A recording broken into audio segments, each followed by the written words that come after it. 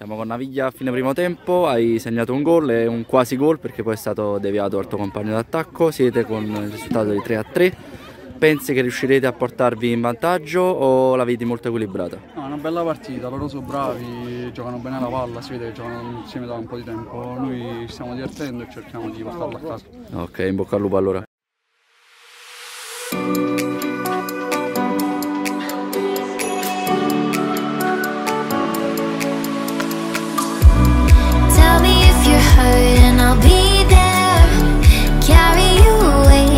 Promised land.